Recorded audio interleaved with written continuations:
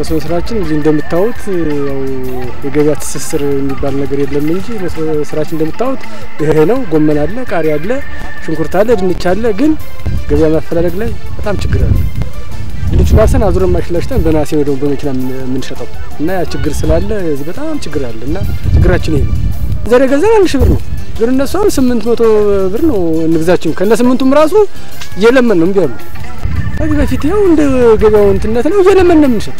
ምን ያሁን አምና ጀምሬ ነው መቸርቸር ጀምሩት በማዳበሪያ እና አሁን በግላችን ነጋዴው በማዳበሪያ ማሳውን ተረክቦ የሚያመላልስ ነጋዴ በመቀን ምጭና የለ ያንን ከመጣም ያግዷል። እኛ ነጋዴ አሁን ብናገኝ አሁን እኛ ስልክ እያፈላለግን ምናልባት እንደው እና ስልክም አይሰጡንም።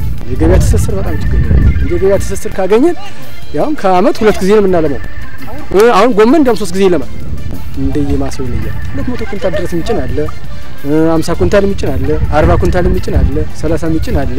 ከሁለት መቶ በላይ የሚጭን እንደ ምድር ነው። ለምሳሌ ሁለት ገመድ ሶስት ገመድ ያለው ሀያ ኩንታል ሰላሳ ኩንታል የጣለ ድንች አለ። አሁን የተቸገሩ እነሱ ናቸው። እኔስ መቼም አንድ ገበር ናት እዚህ ልቸረች ትችላለሁ። ነሰላም እያመላለስ ግን ነሰላም ባመላለስኩበት እዚህ ባንድ ቀን ማሽላ አሳድጌ የኩትኳቱ ይደርሳል። እዚያ በለፋውበት አንድ ሺህ ብር ገዝተን የሚረከብን ካጣን አቅማችን እየተሟጠጠ ነው። በቃ ያለ በዚህ የተነሳ ነው። ስራ በጣም ቆንጆ ነው። በአመት ሁለት ጊዜ ይዘመራል። ገበያ ላይ ነው እንጂ ቆንጆ ነው። ሁለት ገመድ ያለው አለ፣ ሶስት ገመድ ያለው አለ፣ እስከ አራት ያለው አለ። ድንች አትክልት አይውልም አያድርም። በደረሰ ሰዓት ነው የምንሸጠው።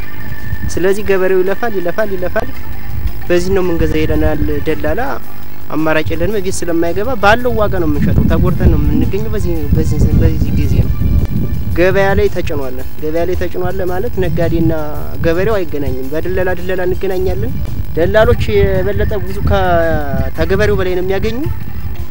ገበሬው ዝቅተኛ ነው። ማዳበሪያ ወጭ ምናምን ሰርቶ ሰርቶ ገበሬው በአመት ሆንም ዝቅ የሚልበት ደረጃ ያለ ይሄ ነው። የገበያ እጥረት ነው። ድንቹ ወደ ቤት ስለማይቀመጥ ይሄ ነው ይላሉ። ነጋዴ የለም ነጋዴ የለም ይላሉ።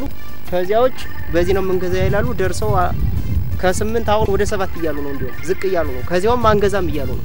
በደንበጫ ዙሪያ ወረዳ በርካታ ቀበሌዎች ላይ በርካታ የመስኖ ልማቶች አሉ።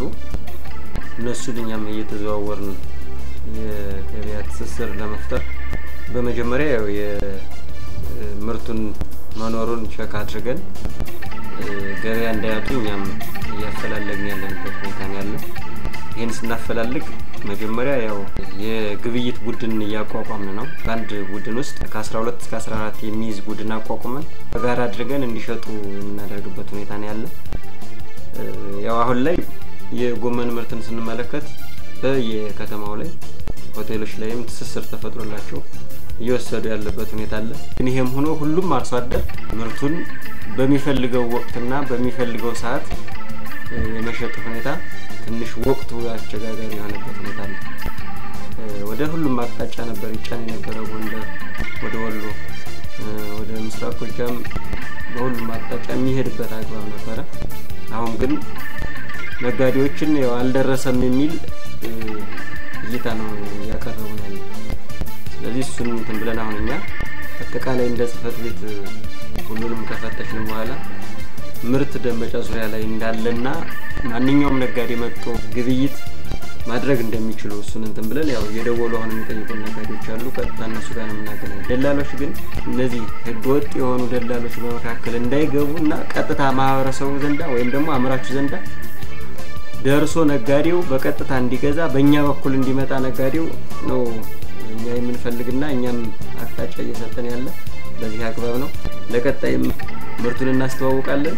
ማንኛውም ሰው ምርቱ እንዳለ ተገንዝቦ ወደዚህ ቢመጣ ያው ትስስር እየፈጠርንለት እያገናኘ ነው። ቀጥታ መሸሻጥ የሚቻልበትን መንገድ